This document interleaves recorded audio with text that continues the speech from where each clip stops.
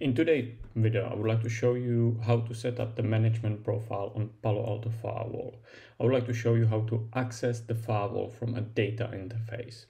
As you can see in my lab, uh, I'm accessing my Palo Alto Firewall through my management station and through their management interface, which is preferred option because firewall have a separate architecture for the management interface and for the data interface. That means if the firewall get cooked, for example, by the DDoS, you st still should be able to access the firewall on the management interface because it's over separate memory and a CPU.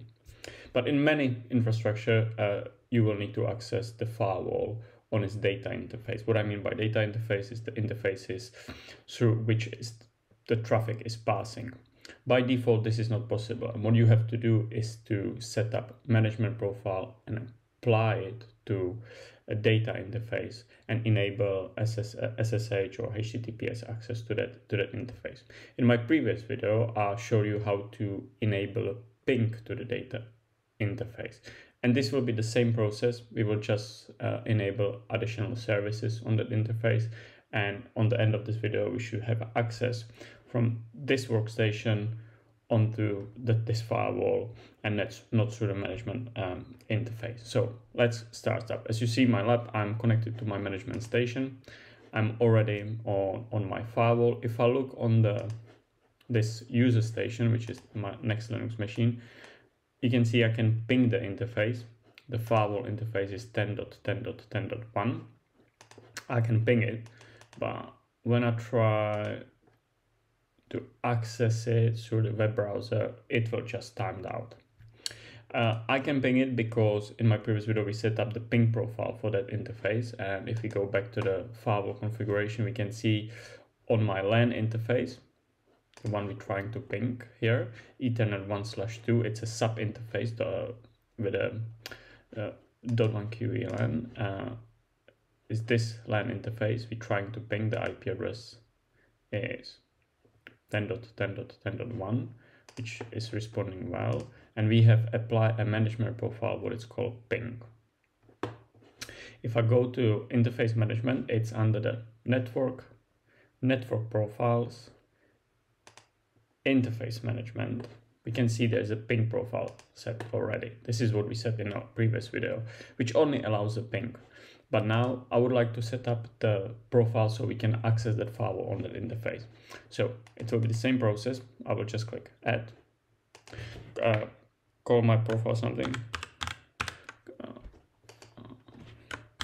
empty, for example, management LAN, and I want to enable HTTPS, SSH, and I want to allow the ping.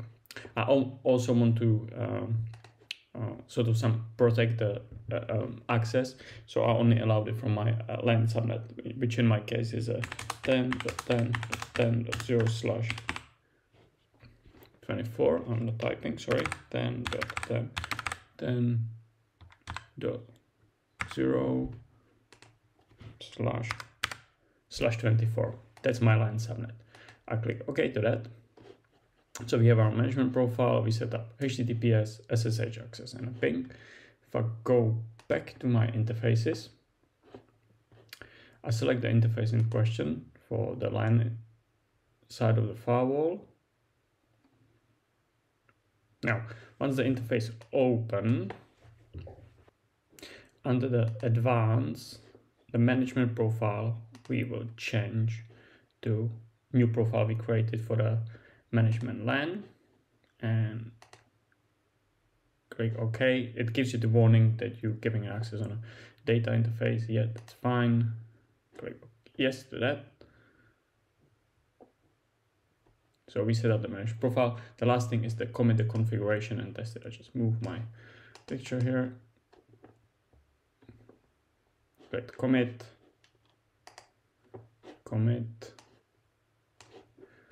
and the commit started. Please, if you like the video, hit the like button and subscribe to my channel. It will help me to grow it. Thanks.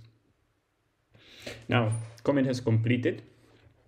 Uh, close the window. We go back to our uh, user machine. I can still see, I can still ping the firewall, which is good, good sign. And see if I can log into the firewall. That looks promising.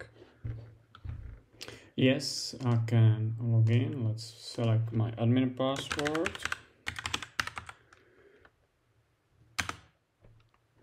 Now, and I'm logged into the firewall onto uh, using the data interface on a on the LAN side. The last thing I wanted to try is we also enable HTTPS. We've seen the ping is working. We also enable SSH. So let's try SSH admin.